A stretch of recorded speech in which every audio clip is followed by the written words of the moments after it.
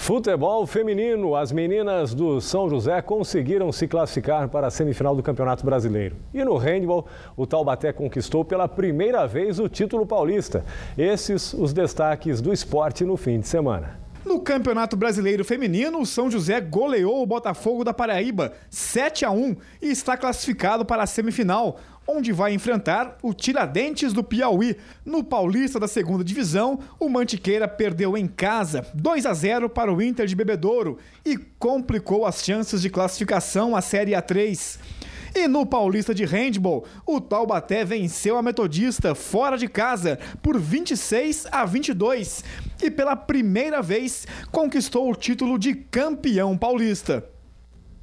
Começou ontem a Copa Band Vale de Futebol Amador. Nesta 17ª edição, 15 equipes disputam o título.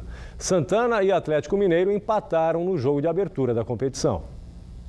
O jogo, um clássico de São José dos Campos, começou bem equilibrado. O Atlético Mineiro, campeão do ano passado, queria defender a taça e foi pro ataque. Mas o Santana, na busca do primeiro título, não deixou barato e também teve boas chances de gol. Logo depois, o time do campo dos alemães quase abriu o placar, mas a bola foi para fora. E o primeiro tempo seguiu assim, sem que nenhuma das equipes conseguisse balançar a rede. O Atlético Mineiro voltou melhor do vestiário e já no começo o travessão salvou Santana. Mas aos 17 minutos não teve jeito de segurar o Galo. Esquerdinha fez o primeiro gol da Copa Bandivale 2015. Os adversários acordaram e foram em busca do empate. Dois minutos depois, a bola bateu na trave e entrou com Luan. Com tudo empatado, os times correram atrás da vitória e tiveram excelentes chances de gol, mas a bola não entrou de jeito nenhum. Placar final: 1 a 1.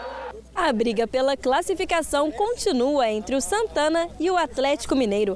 E é o jogo de volta lá no campo dos alemães no próximo domingo que vai definir qual das duas equipes segue para as oitavas de final da Copa Band Vale duas equipes são equilibradas, como eles conseguiram o um empate aqui, nós podemos, temos condição de lá vencê-los, como eles têm condição também de vencer, é um clássico. Quem erra menos leva, leva, leva, leva como diz, vai classificar, né? Saímos com um gostinho amargo ainda. Eu creio que na, na, durante a partida, no decorrer da partida, tivemos mais chance, mais oportunidade e poderíamos ter saído daqui com um resultado melhor. Mas se trata de uma, uma grande equipe, também o Santana, então sabe jogar fora. Então esperamos que lá dentro a gente consiga fazer, reverter tudo as chances que nós tivemos aqui hoje em gols. O brasileirinho de Taubaté descumpriu itens do regulamento e acabou desclassificado. O adversário, que seria o Jardim Cerejeiras de São José dos Campos, foi automaticamente classificado para a próxima fase. Veja agora o resultado dos outros seis jogos da Copa Band Vale realizados neste domingo. O Silveiras, jogando em casa, venceu o Parque Meia Lua de Jacareí por 1 a 0. Caraguatatuba bateu o Força Jovem por 2 a 1. O Batuba ficou no empate com o Porto em 1 a 1. O Intervale de São José dos Campos empatou com o Centro Histórico de Paraty 3 a 3.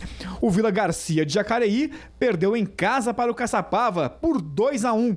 E os jovens Juventus de Paraibuna perderam em casa para o Sertãozinho de São José dos Campos por 3 a 1. Vôlei. Começa hoje a semifinal do Campeonato Paulista. O São José recebe em casa o Forte SESI, vice-campeão do ano passado. A equipe de São Paulo tenta pela sétima vez consecutiva disputar o título do estadual.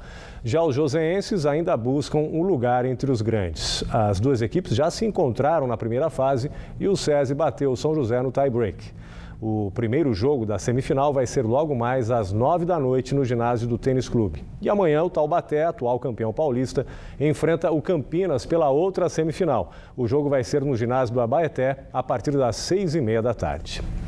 Outras notícias amanhã no Band Cidade Primeira Edição, ao meio-dia e 55. Para rever o jornal, acesse o site da TV e também deixe sugestões de matérias em nossos perfis no Facebook e Twitter.